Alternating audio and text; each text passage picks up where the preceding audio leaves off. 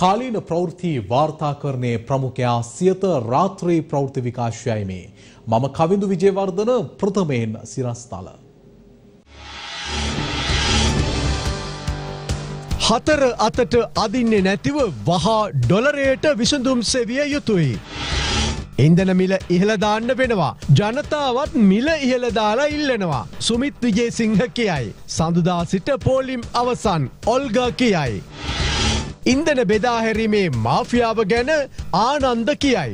ජනතාව අදත් පොලිමේ සිට ආණ්ඩුව පතුරුගහයි. දම්ම නැති ආණ්ඩුවක් ආයි රාජපක්ෂ පරම්පරාවට චන්දනම් දෙන්න. අදත් කැපෙයි. හිසරදයට කොට්ට මාරු කර අතිසාරයට අඹුඩ ගහන විදුලි විසඳුම් ගැන රංජන් ජයලාල් කියයි. විදුලි බල මණ්ඩලේ ශ්‍රීපාදයටත් විදුලිය කපයි. අදත් ගෑස් පෝලිම් ගෑස් පොලිමේ කාකොටාගන්න මිනිස්සු. විදුලිය ඩොලර් ඉන්දන පාර්ලිමේන්තුව උණුසුම් කරයි. ප්‍රථම නවධානය දේශීය පුවත් වෙත. ඇත්තටම මහබැංකුවට හෝ රජයට ඩොලර් මවන්න බැහැ. ඩොලර් මැවෙන්නෙත් නැහැ. අපේ රුපියල් අච්චු ගහනවා වගේ අපේ රට ඇතුළේ ඩොලර් මුද්‍රණය කරන්නත් බැහැ. දැන් අපේ රටේ ඉන්ධන හිඟය, ගෑස් හිඟය, විදුලි කප්පාදුව, ඖෂධ මිල ඉහළ යාම සහ අත්‍යවශ්‍ය භාණ්ඩවල හිඟය ආදී එකී නොකී සියල්ලටම හේතුව ඩොලර් නැතිකම. ඇත්තටම ඩොලර් හිඳිලා ගියාද නැත්නම් හින්දුවාද? ඇත්තටම මහබැංකුව ඩොලරේ රුපියල් දෙසිය තුනක පවත්වගෙන යාමට දැඩි තීරණයක් ගෙන තිබුණා. මේ තීරණය අපේ රටේ ඩොල හිඟය කබලෙන් ලිපට ඇදදානවා කියලා ස්වාධීන ආර්ථික විශේෂඥයින් එදා පෙන්වා දුන්නා. නමුත් ඒ අවස්ථාවේ මහබැංකුව හිටියේ බීරි අලියකු වගේ. මේ රුපියල් දෙසිය තුනක තීන්දුවෙන් වුණේ විදේශ විනිමේ ප්‍රේෂණත් පහළ වැටීම. ඇත්තටම රටට ලැබෙන විදේශ විනිමේ ඉපයීම් වැඩි කර ගැනීම ඩොල හිඟයට ඇති එක් විසඳුමක්. එසේම විදේශ විනිමේ සම්පත් ඉතිරි කර ගැනීමත් ඩොල සංචිත ඉහළදාගන්න කළ යුතු වනවා. රුපියල් දෙසියතුනක සීමාවක පවත්වගෙන යාම නිසා විදේශීය ප්‍රේෂණ හොඳටම පහත වැටුණා. තමන් දුක්විඳලා හොයන සල්ලි අඩුගානකට රාජ්‍ය බැංකු හරහා එවන්න කවුද කැමති. ඒ නිසා හවාලා සහ උන්ඩියල් වැනි ක්‍රමවලට විදෙස්ගත ශ්‍රමිකින් මුදල් එවන්න යොමුණා. එය ස්වභාවිකයි. ඇත්තටම ස්වාධීන ආර්ථික විශේෂඥ මතය වූයේ මහබැංකුව අනුගමනය කළ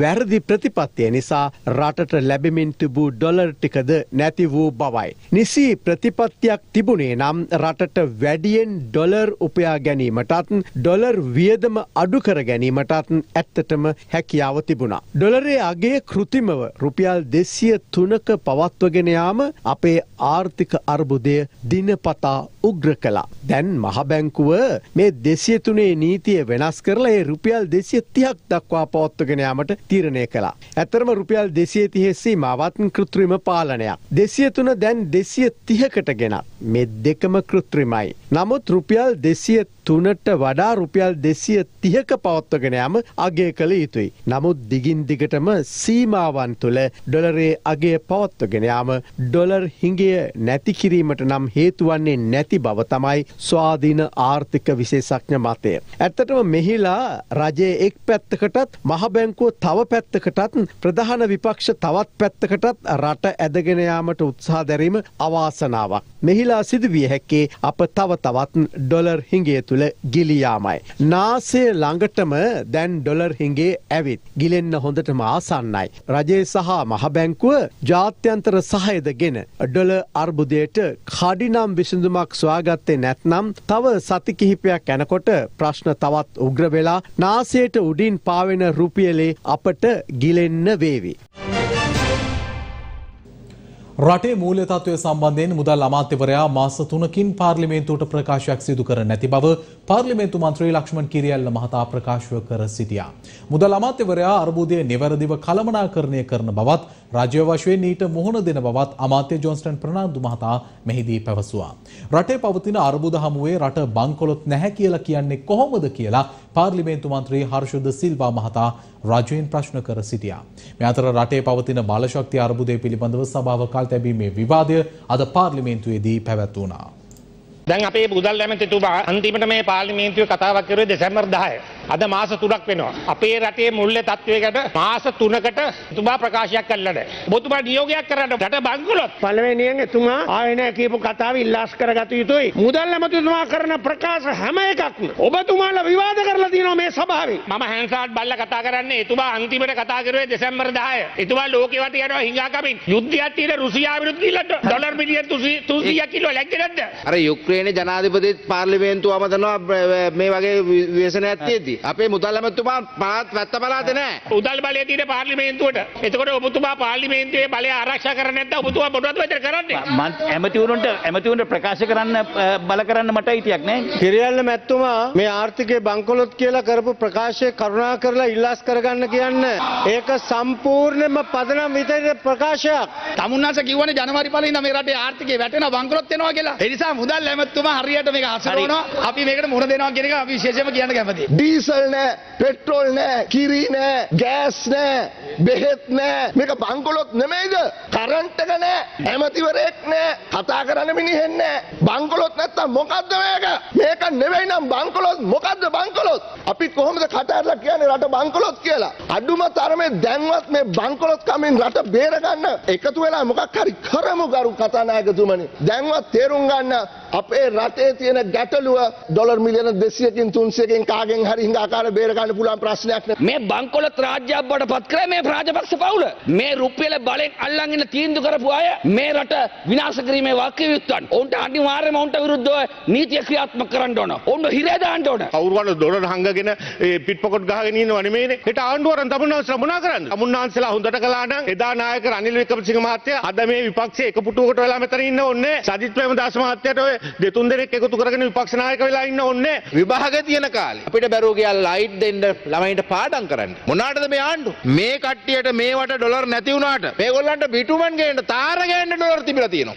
එතකොට මේ රටේ ප්‍රමුඛතාවය තාරද? දැන් රාජපක්ෂලගේ රස බැලුව ඇති. අනිවාර්යයෙන්ම මේ ජලය අර පිරිමැස්මෙන් යුතුව මැයි මාසේ 14 වෙනිදා දක්වා පාලනය නොකළොත් අනිවාර්යයෙන්ම අප්‍රේල් මුලදී විදුලි බල පද්ධතිය අකර්මණ්‍ය වීම වළක්වන්න බෑ. දැන් යෝජනා කරන්න යනවා 150කට වඩා වැඩි මුදලකින් විදුලි බල ගාස්තු වැඩි කරන්න. මම දැක්ක ජනාධිපතිවරයා ආර්ථික කමිටුවක් පත් කරනවා ආර්ථික සභාව. මේ සභාවේ කවුද ඉන්නේ? එතුමත් ඉන්නවා. මුදල් ඇමතුමත් ඉන්නවා. මහින්ද රාජපක්ෂ අගමැතිතුමත් ඉන්නවා. ජොන්සන් ඇමතුමත් ඉන්නවා. හැබැයි මෙච්චර අර්බුදයක් තියෙද්දි ඒක ගොඩ ගන්න පත් කරන්නේ ජොන්සන් ප්‍රනාන්දු ඇමතුමා නා. ඉතින් රටේ ජනතාවට හිතාගත්ත හැකි මේ අර්බුදයට උත්තර සපයන්නේ කොහොමද කියලා. ආයි ඉතින් මේ වට්ටපු කට්ටියම තමයි. ඉතින් බැසිල් රාජපක්ෂත් ඒකේ ඉන්නවා. හැබැයි ඉතිහාසයක් තියෙනවා ලයිට් තිබුණා රටේ. බලාගාරත් වැඩ කරා. හැබැයි ගෙදර අපිට ලයිට් එක දාගන්න අවසරේ නැහැ. අපේ ගෙදරට දුණ්ඩු කෑල්ලක් දානවා වෙලා. අපේ ගාන්ත මන්ත්‍රීතුමායම දන්නවා. කුප්පි ලාම්පුවක් පත්තු කරන්න මේක කුල්ලෙන් වහලා තියන්න ඕන. මේ සභාවට ඉතාම වගකීමකින් කියන පුනර්ජනනීය බල ශක්තිය පාවිච්චි කරන. අඩුම ගානේ තව මෙගවොට් 1000ක්වත් මේ පද්ධතියට එකතු කරන්න අවශ්‍ය මූලික පියවර අපි මේ අවුරුද්දේ ගන්නවා. ඩොලර් එක පහ කරා. ඕක කලින් කරන්න තිබුණානේ. දැන් නහය ළඟට වතුර ටික ආවට පස්සේ දැන් ඩොලර් එක පහ කරලා දැම්මා. ආනායන භාණ්ඩ 367කට තාංචි දාලා තියෙනවා. තාංචි දාලා කියනවා ලයිසන් ගන්න කියලා. කාටද ලයිසන් ටික දෙන්නේ? හායි ලයිසන් ටික දෙයි තමුන්නාන්සලගේ ජාවාරම්කාරයන් ටිකට. දැන් අපේ අපේ ජනාධිපතිතුමා සර්වපාක්ෂික සමුළුවක් ඇඳවන්න හද. සර්වපාක්ෂික සමුළු ඕනේ නෑ. මේ පාර්ලිමේන්තුව එකතු කරාම මේක තමයි සර්වපාක්ෂික සමුළු. ජනාධිපතිතුමාට පුළුවන් පාර්ලිමේන්තුවට එන්න. නමුත් ජනාධිපතිතුමා පාර්ලිමේන්තුවට එන්නේ අර කැලේට හඳ පායනවා වගේ තමයි එතුමා එන්නේ. මුදල් ඇමතිතුමාව අපි දකින්නේ හොඟක් කාලෙකින් පස්සේ. ගල්ලංගුරු බලාගාරයට ඕන කරන ගල්ලංගුරු සියල්ලම ප්‍රෝග්‍රෑම් එක අනුව ගෙනලා තියෙනවා. තව ගල්ලංගුරු නැව් පහයි අපිට ලංකාවට ගෙනෙන්න තියෙන්නේ. ඒක අප්‍රේල් 31 වෙනිදාට පස්සේ 31 වෙනිදාට ඉස්සෙල්ලා ගෙන්න මොකද මොන්සූන් හින්දා. සැප්තැම්බර් මාසෙ වෙනකන් ඒ ගල්ලංගුරු මේ රටේ පාවිච්චි කරන්න පුළුවන්. අපි බලාපොරොත්තු වෙනවා ලබන සිකුරාදා සෙන්සුරාදා බෙදා හැරීමේදී ඒ පෝලිං ක්‍රමේ ටිකෙන් ටික අඩු කරා ගන්න පුළුවන්. විදුලි බල මණ්ඩලයට අපි ටොන් 10000ක් ලබලා දීලා තියෙනවා විදුලිය කප්පාදු නොකර යන්න. 22යි 3යි 11 වෙනිදා දැවිතෙල්ම මගේ ක්‍රියාවන බලාගාර සියල්ලම පූර්ණ ධාරිතාවෙන් ක්‍රියාත්මක කිරීම හැකිය අතර කැලණිත බලාගාර ක්‍රියාත්මක වෙන හැකිය නැත. අපි විදුලිය කැපීමත් ඉන්ධන පෝලිං තියෙන එකත් වැඩි කාලයක් යන ඉස්සෙල්ලා සියල්ලම අවසන් කරනවා. මේ වෙලාවේ රට මුහුණ දෙන ඩොලර් අර්බුදයට එක් විසඳුමක් සමහර ආනයන සීමා කිරීම. ගහෙන් වැටුණු මිනිහට ගොනානින්න හොඳ නැහැ.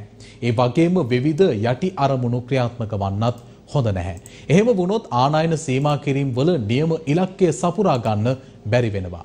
ඊයේ බාණ්ඩ 367කට తాවකාලික ආනයන සීමා කිරීම පැනවුවා. ඒ අතර සමහර ටයර් ප්‍රමාණද වනවා. ටයර් උඩ දුවන්නේ වාහන. වාහන මත තියෙන්නේ ජීවිත.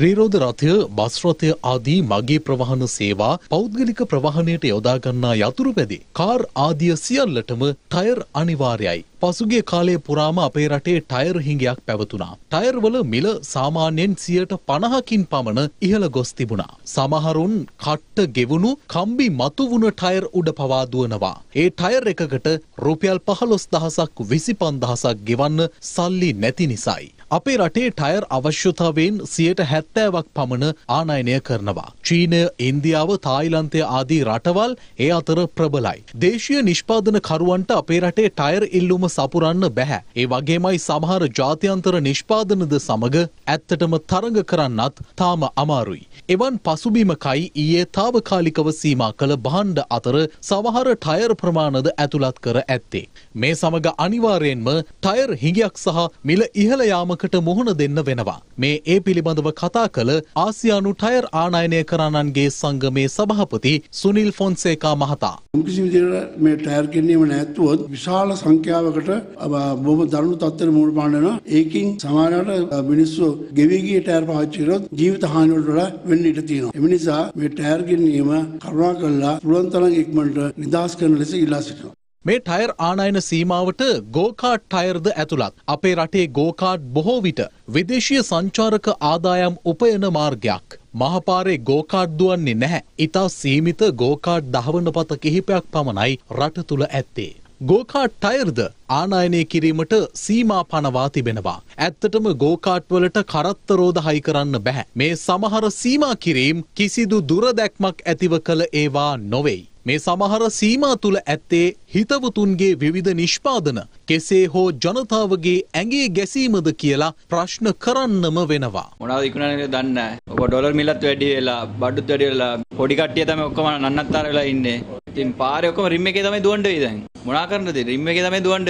කෝටිපතිය ළඟ ටයර් තියෙනවා. ස්ටොක් එකේ තියෙනවා. අපි ළඟ බඩු නැහැ. මේ ඔක්කොම වහලා දාන්න වෙන්නේ ටයර් ගෙන්නගෙන නැතුත් මොකද අපි තනිකර ටයර් වලින් යැපෙන්නේ. සමහර කම්පැනි වලට ටයර් ගෙන්නන්න පුළුවන්. සමහර කම්පැනිස් වල ටයර් ගෙන්නන්න බෑ. ටයර් එක රුපියල් 10000ට විකුණන්න පුළුවන් ටයර් එක ටයර් නැති ඉඳලා රුපියල් 12000ක් කියයි. අපිට දැන් කඩ කරන්න විදියක් නැතුව ඉන්නේ. ටයර් නෑ, ටියුබ් නෑ, ආ රිම් නෑ. හැම දෙයක්ම නෑ කියන්න විතරයි තියෙන්නේ. තියෙනවා කියන්න දෙයක් නෑ. හොඳ අපි දැන් කඩේ ගෝලයන්ට පඩි දෙන්නෙත් හරි අමාරුයි. හැම දෙයක්ම නවත්තලා අපිට දැන් ඉඟා ගන්න වෙලා තියෙන්නේ. ආ මිනිස්සු දැන් යනවා ටයර් එකේ ගාන කිව්ව ගමන්. අපිත් ගන්නේ ටයර් එකේ ගානට තමයි. ඉතා ආසන්නේම සිපෙට්කෝ ඉන්ධන මිලත් ඉහළ දාන්න වෙනවා කියලා කනිත නීතිගත සංස්ථාවේ සභාපති සුමිත් විජයසිංහ මහතා පවසනවා. ජනතාවද ඉන්ධන මිල ඉහළ දාන්න ඉල්ලන බවයි ඔහු පැවසුවේ. ඉන්ධන මිල ඉහළ දානවට කැමති මොන ජනතාවද කියලා අපිට නම් හිතා ගන්නවත් බැහැ. කෙසේ නමුත් ලබන සඳුදා වන විට ඉන්ධන පෝලිම් අවසන් කරන බවයි බලශක්ති අමාත්‍යංශයේ ලේකම් KRD ඔල්ගා මහත්මිය ප්‍රකාශ කළේ. මේ අතර ඉන්ධන බෙදා හැරීමේ මාෆියාව ගැන සමග ඒකාබද්ධ වෘත්තීය සමිති සන්ධානයේ කැඳවුම්කරු ආනන්ද පාලිත මහතා කතා කළා. රට තුළ පවතින ආර්ථික අර්බුදය හමුවේ මේ වන විට පෝලිම් යුගයක් නිර්මාණය වී අවසන්. මේ විදියට ජනතාව පෝලිමේ තබා ඉන්ධන මිල ඉහළ දැමීමේ මාෆියාවක් පවතින බවයි සමග ඒකාබද්ධ වෘත්තීය සමිති සඳහනයේ කැඳවුම්කරු ආනන්ද පාලිත මහතා ප්‍රකාශ කළේ. ඉන්ධන ගණ්ඩ රුපියල් 6000ක් පමණ ගෙවන්න වෙනවා. අල්ලසත් දෙන්න වෙනවා. මේක ඇත්ත ප්‍රසිද්ධ රහසක්. මොකද මමත් අවුරුදු 40ක් හිටපු තැන. බෙදහැරින් අංශවල මේක තියෙන මේ වෙලාවේ ජාවාරම වැඩි වෙලා තියෙනවා. ඒකින් අපි වර්තමාන ඇමති ගාමින් ලොග්ගය මෙත්වල පැහැදිලිව කිව්වා ඉන්ධන සීලු දේ උපරිම නිකුත් කරොත් පමණයි මේක නවත්තන්න පුළුවන්. ඊයේ වර්තමාන කණිතය තොග පරිණ සමගයේ සභාපති මේජ් ජෙනරල් සොයිස මැත්මත් එක්ක විනාඩි 15ක් විතර කතා කරා. මේ කරුණ කිව්වා අකණ්ඩව ඇනූ නිකුත් නොකෙරුවොත් ඩොලර් ටිකක් අපතේ වාහන ටිකක් දිගටම පොලිමේ ඉන්න වෙනවා. ඒ தත්ත්වය තමයි ඇවිල්ලා තියෙන්නේ. මොකද මේ වෙන විට ඊයේ බෙදලා තියෙන මෙට්‍රික් ටන් 4800ක් විතර පමණයි ඩීසල්. හැබැයි 7000ක් පමණ ඕනේ. මුළු දවසම මෙදලා තියෙන මෙට්‍රික් ටන් 8000යි ඩීසල් පෙට්‍රල් ඔක්කොම. දැන් භූමි තෙල් පෝලිං දෙගුණයකට ඇවිල්ලා. මෙතන මාෆියාවක් තියෙනවා. ජනතාව පෝලිමේ තියෙනවා. ඉන්ධන මිල වැඩි කිරීමේ අවධානමත් දැන් ඇවිල්ලා තියෙනවා. මේ අතර ලෝක වෙළඳපොලේ බොරතෙල් මිල ඉහළ යාමන් සමග පිරිවැයට සාපේක්ෂව ඉන්ධන මිල සංශෝධනය කළ යුතු බවට රජයට යෝජනා කිරීමට khනිජ තෙල් නීතිගත සංස්ථාව සූදානම් වනවා. අද දවසේ ගත්තොත් ඩීසල් ලීටරයකින් රුපියල් 120ක් පාඩු වෙනවා. පෙට්‍රල් රුපියල් 80ක් පාඩු වෙනවා. අපි ආනයනය කරලා මේ දැන්ට තියෙන අනිකුත් වියදම් සියල්ල බැලුවට පස්සේ අපි බ්‍රේක් ඉවන් නම්බර එක තමා රුපියල් 120ක් සහ රුපියල් 80ක්. සාකච්ඡාවක් ඇති කරලා අපි හිතන්නේ ඉන්ධන පෙට්‍රල් වලින් සහ ඩීසල් අතර යම් ආකාරයක ගැළපීමක් සමග ඉන්ධන මිල වැඩි කිරීමක් සිදු කරනවා නම් හොඳයි කියන එක තමයි අපේ යෝජනාව. ඇත්ත වශයෙන්ම අර මහ ජනතාව කියන්නේත් ඉන්ධන මිල වැඩි කරාට කමන්නේ කියන කාරණාව ඒ නිසා මේ අවස්ථාවේ ඒක ඉටු කරන්න ඕනේ කියන අදහස තමයි අපිට ඉදිරිපත් කරන්න තියෙන්නේ. ඇත්ත වශයෙන්ම උනේ ඉන්ධන හිඟයක් පහුගිය කාලය පුරා තිබුණේ නැහැ. ඒක ඉතාම වගකීමෙන් අපි කියන්නේ. අවශ්‍ය ප්‍රමාණයට වඩා පරිභෝජනය කරන ප්‍රමාණයට වඩා වැඩි ප්‍රමාණයක් අරගෙන යාම තමයි සිද්ධ වුනේ. හෙට සිකුරාද සෙනසුරාද වෙනකොට පෝලිං ඉවර කරන්න පුළුවන් වෙයි කියලා ඔබතුමී හිතන්නේ. සෙනසුරාදා වෙනකොට පුළුවන් විය දැන් අද අපේ අනිත් නැව දැන් බානවා සෙනසුරාදා කොහොම වුණත් මම තව වැඩි හොඳට කියන්නම්කෝ සඳ වෙනකොට පුළුවන් වෙයි කියලා මේ විදුලි බල ප්‍රශ්නෙත් සෑහෙන තරම් දුරකට හෙට ඉඳලා විසඳෙනවා කියන එක කියන්න පුළුවන්. එතකොට මේ විදුලි බල ප්‍රශ්නේයි ඒ ඉන්ධන ප්‍රශ්නේයි දෙකම නුදුරේදීම මේ හැම සියලුම තත්ත්වයන් සමනය කරගන්න පුළුවන් වෙයි කියලා මට අවසාන වශයෙන් කියන්න. අදත් ජනතාව ඉන්ධන නැතිව පොලිම් වල අසරණ වී සිටියේ මේ ආකාරයෙන්.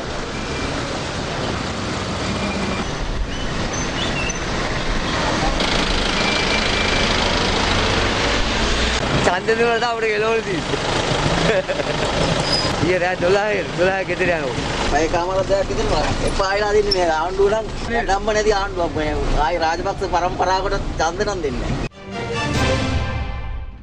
අද දිනේත් විදුලිය කපන බවයි මහජන උපයෝගිතා කොමිසම නිවේදනය කර ඇත්තේ.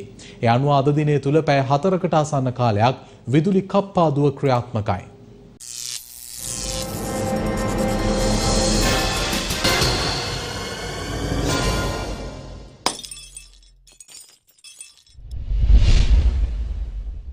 අද දිනේත් විදුලිය කපන බව මහජන උපයෝගීතා කොමිසම නිවේදනය කරනවා. ඒ අනුව කලාප 12ක් සඳහා පෙරවරු 8 සිට පස්වරු 6 දක්වා පෑ දෙකයි විනාඩි 30ක විදුලි කප්පාදුවක් සිදු කරන බවයි මහජන උපයෝගීතා කොමිසම නිවේදනය කරන්නේ. එමෙන්ම එම කලාප සඳහා පස්වරු 6 සිට රාත්‍රී 11 දක්වා පැය එකයි විනාඩි 15ක විදුලි කප්පාදුවක් සිදු කිරීමටද නියමිතයි. PQRSTUVW යන කලාප සඳහා පස්වරු පහේ සිට රාත්‍රී 11 දක්වා පැයක විදුලි කප්පාදුවක්ද සිදු කිරීමට නියමිතව තිබෙනවා. ඒ අනුව කලාප 20ක් යටතේ එම විදුලි කප්පාදුව සිදු කරන බවයි මහජන උපයෝගිතා කොමිසම පවසන්නේ. හිස රදයට කොට්ටේ මාරු කරලා අතිසාරයට අමුඩි ගහලා මේ ගැටලුව විසඳන්න බැරි බව වෘත්තීය සන්ධානයේ කැඳවුම්කරු රංජන් ජයලාල් මහතා පවසනවා. තමත්ම පැහැදිලි අපි දිගින් දිගටම කිව්වා ආණ්ඩුව ජන ජනතාව ඉස්සරහා බරපතල හැල්ලුව ලක් වෙමින් තිබෙනවා. අපි පැහැදිලිව තමයි හිස රදේට කොට්ටේ මාරු කළා අතිසාරයට අමුඩ ගහලා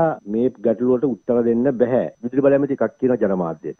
බලශක්තියමි තව එකක් කියනවා. ලංකා විදුලි බල මණ්ඩලය බාරයක් වෙලා තියෙනවා ශ්‍රීපාදයට විදුලි කපා විදුලිය විසන්ධි කරන්නේ නැහැ කියලා. කොහොමද ශ්‍රීපාදයට දෙනවා කියලා. විදුලිය විසන්ධි කළා ශ්‍රීපාදයට තාමත් කනගාටුදායක තත්ත්වයක්. ශ්‍රීපාදයට වෙච්ච බාරේ පවා මේ ආණ්ඩුව ඊයේ රාත්‍රියේ ශ්‍රීපාදේ කරුවලේ තියලා ඒ බාරේ පවා අඩ කරලා තියෙන්නේ. එතෙන්ට අද ආණ්ඩුව පත් වෙලා තිබෙනවා. මේ අතර ඊයේත් ඇල්පිටිය ප්‍රදේශයේ බොහෝ පිරිස් පවතින විදුලි අර්බුදයට එරෙහිව විරෝධතාවන්හි නිරත වුණා.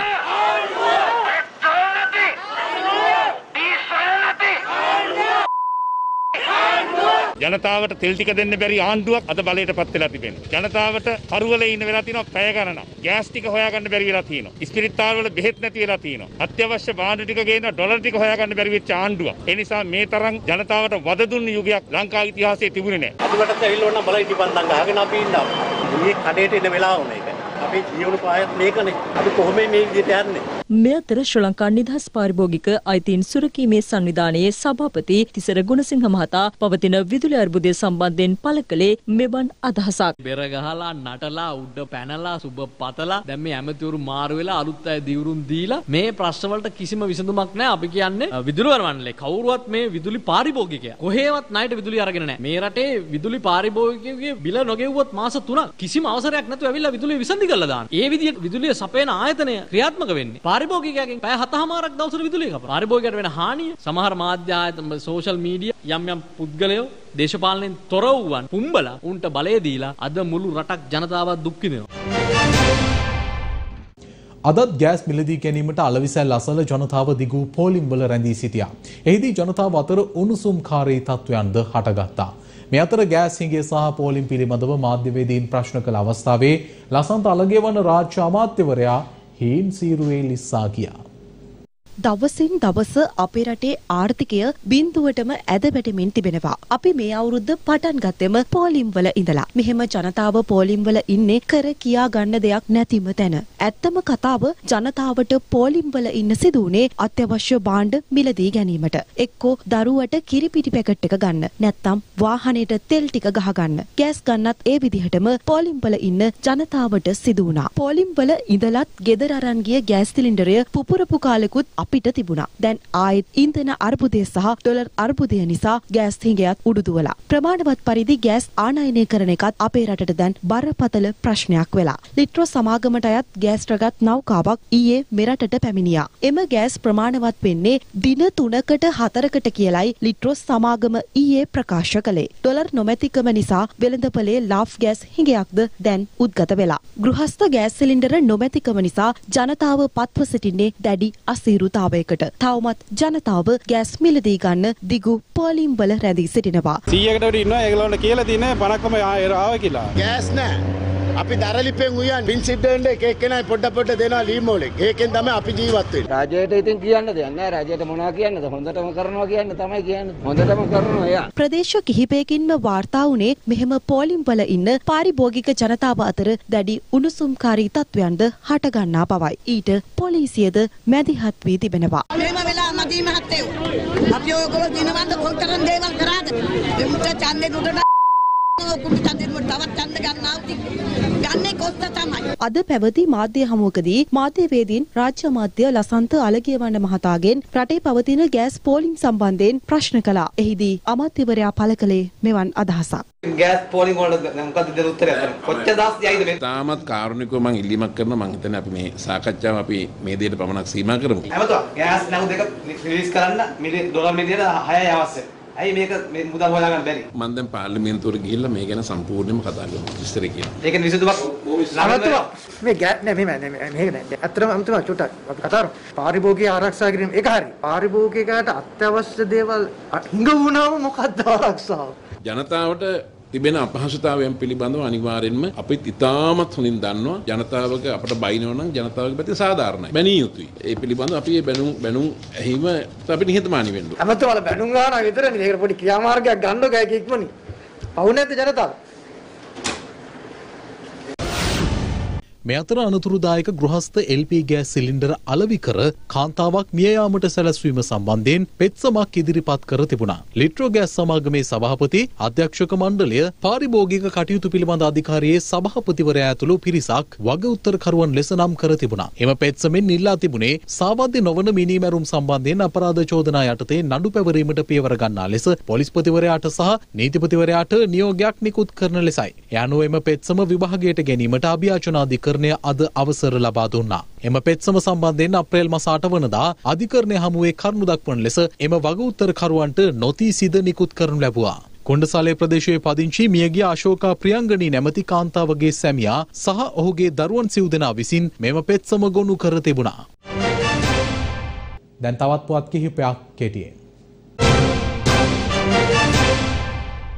ලොහාන් රත්වත්තේ මහතා අද ජනාධිපති ගෝටාබේ රාජපක්ෂ මහතා ඉදිරියේ රාජ්‍ය අමාත්‍ය ධූරයක දිවුරුම් දුන්නා. ඒ ගුදම් පසුකම් බහලුම් අංකන වරාය සැපියුම් බෝට්ටු සහ නැවකර්මාන්ත සංවර්ධන නව රාජ්‍ය අමාත්‍යවරයා ලෙසයි. ගොවි මහත්තෙකු තම අක්කර දෙකහමාරක කුඹුර ගවයින්ට කන්න දුන් පුවතක් අපට වාර්තා වුණා. ඒ ගලේවෙල දේවහුව ප්‍රදේශයනුයි. ගොවි මහතා පවසන්නේ කුඹුරු ගොවිතැන සඳහා දායක වූ සියලු දෙනාට පින් පිණිස මෙය සිදු කරන බවයි. ශ්‍රී ලංකාව සඳහා පත් වූ ඇමරිකානු තානාපති ජූලී චුන් මෙතනිය හා විදේශ කටයුතු අමාත්‍ය ජීඑල් පීරිස් මහතා අතර හමුවක් අද පැවැත්වුණා. ඒ විදේශ කටයුතු අමාත්‍යංශයේදී. අද උදෑසන බලංගොඩ ප්‍රධාන මාර්ගය අවහිර කරමින් බලංගොඩ ප්‍රදේශවාසීන් විරෝධතාවක නිරත වුණා. ඒ බලංගොඩ පිහිටි දෙපැමුල්ල මාර්ගයේ කාපට් ඇතිරීම මග නවතා දැමීමට විරෝධය පළ කරමිනුයි. අද දහවල් පොල්ගහවෙල සහ අලව් අතර කොළඹ නුවර ප්‍රධාන දුම්රිය මාර්ගයේ දුම්රියක් පීලි පැන තිබෙනවා. ඒ මඩකලපුව සිට කොළඹ පලා ධාවනය වූ උදයදේවී සීග්‍රගාමී දුම්රියයි. සියත රාත්‍රයේ ප්‍රවෘති විකාශය අවසන් ඔබට සුවදායි රාත්‍රයක්. දෙනපතා අලුත් වීඩියෝ සහ ප්‍රවෘති නැරඹීමට ඉහත බටන එක ක්ලික් කර සියත TV සබස්ක්‍රයිබ් කරන්න.